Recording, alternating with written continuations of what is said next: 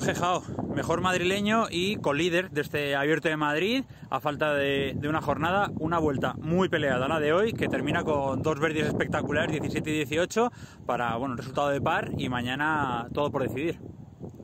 Pues sí, hoy ha sido una vuelta dura. Eh, bueno, el principio ha sido bastante calmado con un bogey y un birdie, pero después del 9 al 12 he tenido unos errores que me han costado tres bogies seguidos, pero al final el pad ha, estado más caliente y pues bueno, he metido un par de pads al final y me, ha, me han permitido terminar birdie birdie.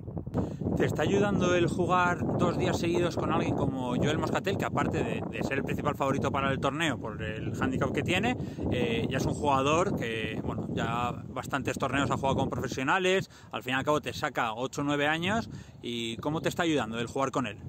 Pues la verdad es que me he fijado mucho en él y pues él es, él es muy detallista, eh, se mantiene muy fiel a su estrategia del, del campo y pues bueno, es algo a aprender de él y espero poder jugar así. Y para mañana, nuevamente partido estelar, eh, torneo muy importante y encima condiciones difíciles. ¿Te, ¿Crees que te favorecen, te perjudican? Eh, pues bueno, las condiciones son iguales para todos, pero eh, espero hacer lo mejor posible. Muy bien, pues